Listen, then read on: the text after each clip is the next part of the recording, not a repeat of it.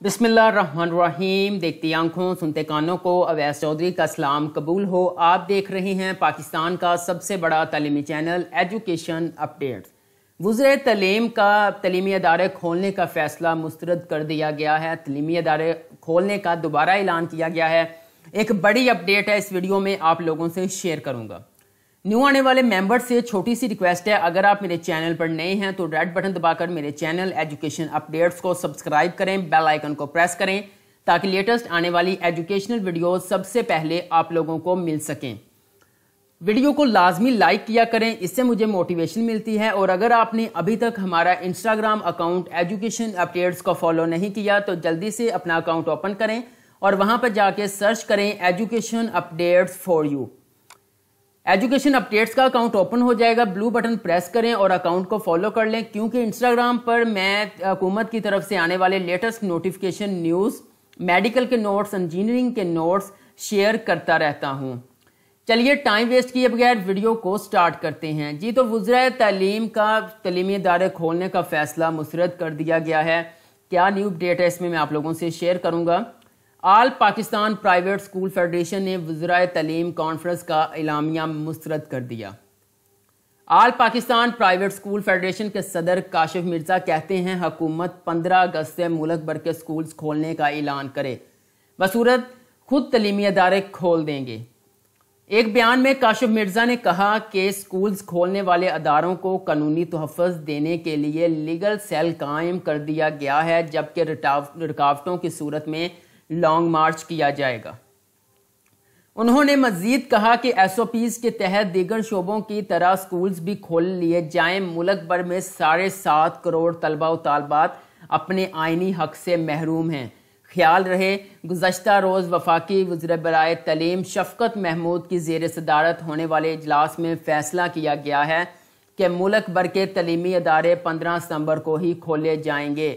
واضح رہے، ملک میں کرونا وائرس کے باعث تعلیمی ادارے کئی ماہ سے بند ہیں۔ صوبائی وزیر تعلیم مراد راس نے کہا ہے کہ پندرہ اگست کو سکول کھولنے کی خبر جھوٹ ہے۔ تمام تعلیمی ادارے پندرہ ستمبر سے ہی کھولے جائیں گے۔ یہاں پر آپ دیکھ سکتے ہیں، ڈاکٹر مراد راس جو کہ ایجوکیشن منسٹر پنجاب ہیں، انہوں نے ایک ٹویٹ کیا تھا جس میں انہوں نے کہا تھا، all public and private schools of Punjab to open September fifteen, two thousand twenty this is a tentative date tentative date کا مطلب یہ ہے کہ سات ستمبر کو اگین اجلاس ہوگا۔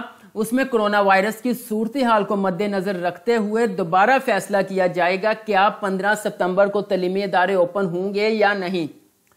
This is tentative date depending on COVID nineteen situation in Punjab SOPs for opening schools are in the place which will be conveyed to everyone all other news is fake news یعنی کہ جو private schools نے private school association نے ایک فیصلہ کیا تھا کہ ہم جو ہے، وہ پندرہ ستمبر والے جو فیصلے کو مسترد کرتے ہیں، ہم اس کی مخالفت کرتے ہیں، ہم تمام پرائیویٹ جو اپنے نجی سکولز ہیں، وہ پندرہ اگست سے خود ہی اوپن کر لیں گے۔ یہاں پر ان کی جو ہے بات کو مد پرائیویٹ ایسوسیشن کے فیصلے کو مد نظر رکھتے ہوئے، یہ ڈاکٹر مراد راز صاحب، جو کہ ایجوکیشن منسٹر پنجاب کے ہیں، انہوں نے یہ ایک ٹویٹ کیا تھا۔ نیکسٹ بڑھتے ہیں۔ یاد رہے ملک میں کرونا سے مزید اکیس افراد جاں بحق ہو گئے ہیں، جس کے بعد ہلاکتوں کی تعداد چھ ہزار تیس ہو گئی ہے۔ جبکہ مزید نئے کیسز سامنے آنے کے بعد مریضوں کی تعداد دو لاکھ اکاسی ہزار پانچ سو اکتالیس تک جا پہنچی ہے۔ اب تک پنجاب پنجاب میں اکیس سو ستاون، سندھ میں بائیس سو پنتالیس اور کے پی کے میں بارہ سو پندرہ افراد جاں بحق ہو چکے ہیں۔ جبکہ اسلام آباد میں ایک سو ستاسٹھ، بلوچستان میں ایک سو چھتیس، گلگت بلتستان میں پچپن اور آزاد کشمیر میں پچپن افراد کا انتقال ہو چکا ہے۔ کرونا کے پھیلاؤ کو روکنے کے لیے لاک ڈاؤن کیا گیا تھا، جس میں نرمی کرتے ہوئے آہستہ آہستہ تمام شعبوں کو کھولا جا رہا ہے۔ لیکن تعلیمی ادارے تاحال بند ہیں۔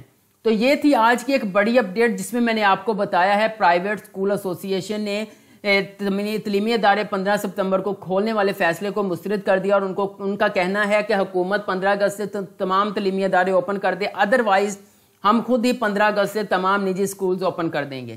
یہ تھی آج کی ویڈیو ویڈیو اچھی لگی ہے تو لائک کریں، اپنے دوستوں کے ساتھ لازمی شیئر کریں۔ چینل پر نہیں ہیں تو سبسکرائب کر لیں بیل آئیکن کو پریس کر لیں تاکہ اس طرح کی لیٹسٹ آنے والی ایجوکیشنل ویڈیوز سب سے پہلے آپ لوگوں کو مل سکیں۔